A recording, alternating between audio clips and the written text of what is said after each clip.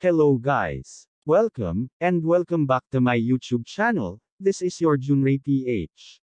Ang video na ito ay ituturo ko sa inyo kung paano mag-profile guard ng mga lumang account sa Facebook. Kung gusto mong malaman ang tricks na ito, keep on watching. Kung bago ka pa lang sa video na ito, huwag kalimotang mag-like, subscribe, and hit the notification bell para lagi kang updated kapag may bago tayong video na i-upload. Let's get started.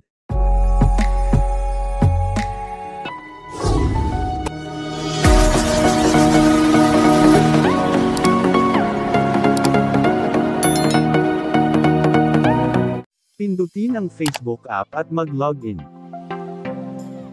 Punta muna tayo sa ating Facebook profile para ipakita ko sa inyo na lumang account ang gagamitin ko. As you can see guys, October 2014 ko pa ito ginawa itong account na ito. E-exit muna natin itong Facebook account para magsimula na po tayo. Pindutin ang Google Play Store. Pindutin ang search bar. E-search ang Monokai Toolkit.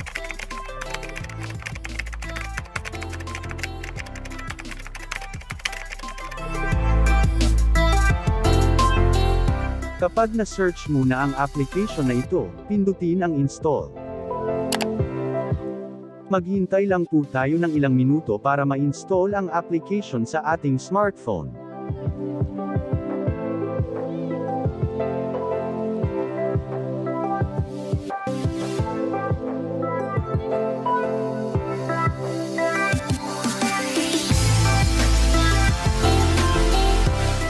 Kapag na-download na ang Monokai Toolkit, pindutin ang Open.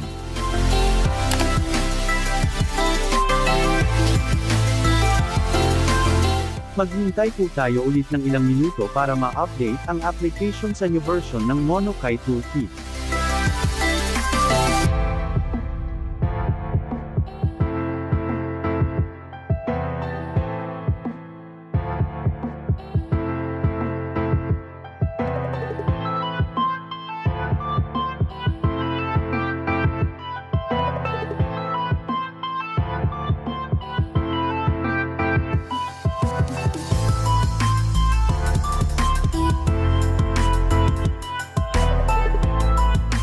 Pindutin ang Get Started.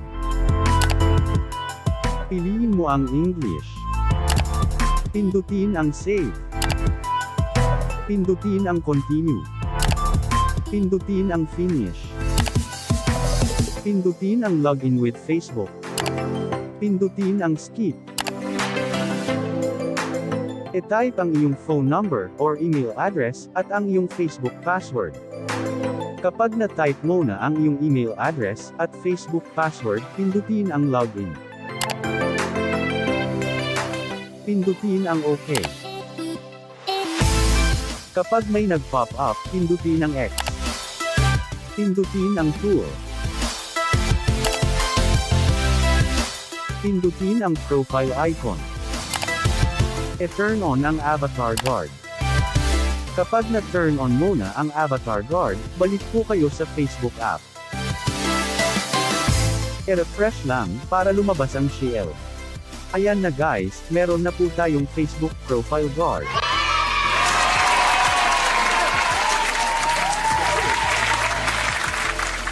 Kapag meron na po kayong profile guard, pwede nyo na pong i-uninstall ang Monokai Toolkit.